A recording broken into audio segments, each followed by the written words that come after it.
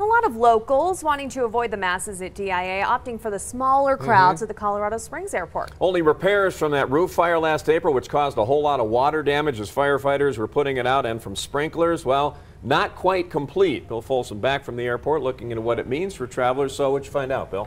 Well, airport managers say, like every year, give yourself some pad, but that has to deal with the extra people. Any construction is either out of the path of passengers, finish type work, or will be put on hold during the busiest hours at the airport.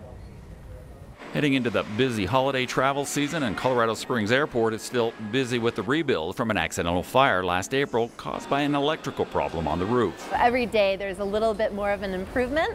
More than a line, before and after shots give perspective on the progress. Partitions and scaffolding coming down, opening spaces and making way for finish work and people. What you're seeing a lot now is the completion of the fire construction, moving into modernization. Some updates like seating areas and food kiosks are available to travelers. The United Ticket Counter, where the fire caused some of the worst damage, is back. The airport on the way to its new normal but not quite there. A lot of that impactful construction we're going to move to the more evening, so then there will be no impact on passengers. Hard hats, hammers, and other heavy lifting making way for the holiday. Right now, like as we go into the busy season, our passengers are number one. So making sure that they can easily come through all of our, the access points, get through security, and get to their planes.